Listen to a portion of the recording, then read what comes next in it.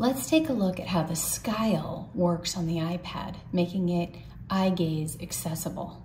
First, you're gonna go into the Skyle app.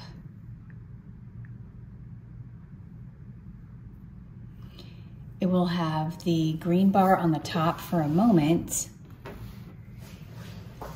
And then you can see where your eyes are going to go.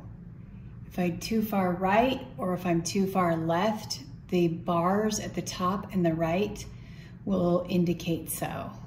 Then you can calibrate. I'm gonna choose a five point calibration, keep my body still, and look at the dot as it goes across the screen.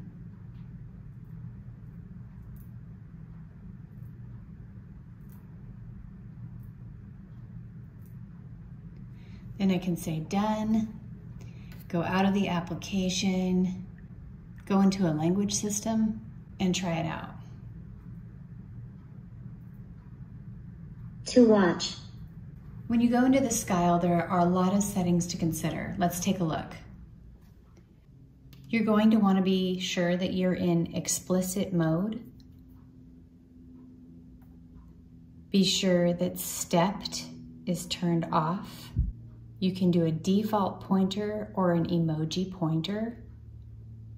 You can tell it that you want a five or a nine point. Under profiles, the best thing to do is to start as a beginner.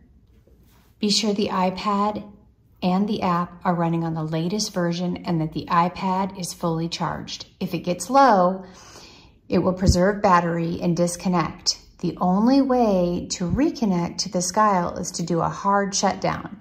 To perform that, you will unplug the device, hold the power and the volume up key down, and slide to power off.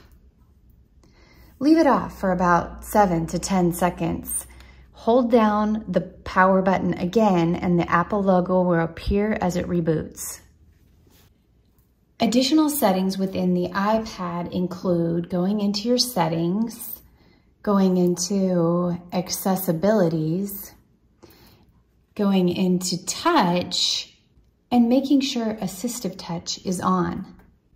Within assistive touch, scroll down and be sure that your sensitivity is all the way down to turtle. The dwell control is on and that you set the dwell time accordingly. The manufacturers recommend 1.25. I found that's a little bit long for my young children's attention span, but it may increase accuracy to have it long enough to look at it and look away before it speaks it. Also within accessibility, you'll need to go into pointer control and again, reduce the scrolling speed. Next, you will go into settings and display and select dark mode and be sure view is zoomed. Settings, general, and trackpad and mouse will also allow you to slow down the speed of the cursor. Under settings and accessibility, you will go into pointer control. Here's where you can decide the pointer size and again slow down the animation so that the pointer can adapt to elements on the screen. All of these settings are required for the Skyle to work at its optimal level.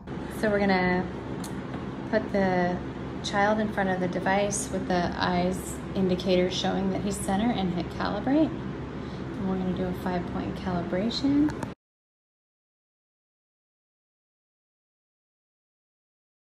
Okay, so we've got one stars on these, but we're just gonna say done because we got it. And now we're gonna go into touch chat. What animals did you see, Zidan, the other day?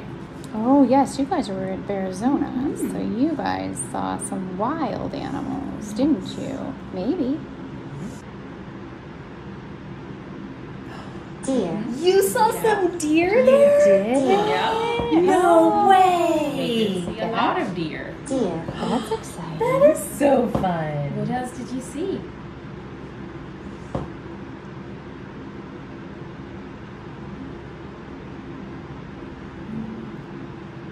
Zebra. Hmm. There was a zebra, yes. There was, there was a, zebra? zebra? Mm -hmm. oh my goodness. That. I didn't either. That's amazing.